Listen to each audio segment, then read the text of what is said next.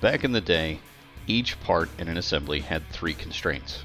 And if you used anything other than a mate, well, you were just showing off.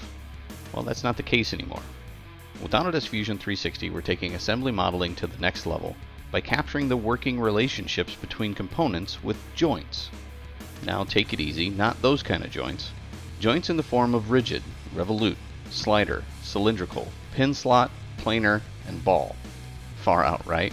Well, it turns out it's not that far out after all. Each part in an assembly has a working relationship with another. Components have range of motion, hard limits, relationships, and cause and effect type motion. These relationships are impossible to model with traditional mate, insert, or angular constraints, yet joints serve the purpose of positioning components relative to another like constraints do, but with the intelligence that you have asked for. Autodesk Fusion 360 makes it easy to create, manage, and exercise these intelligent relationships just as easily as you create components and bodies. You can drag parts to see the motion of many parts, or you can drag a single joint to see the isolated motion.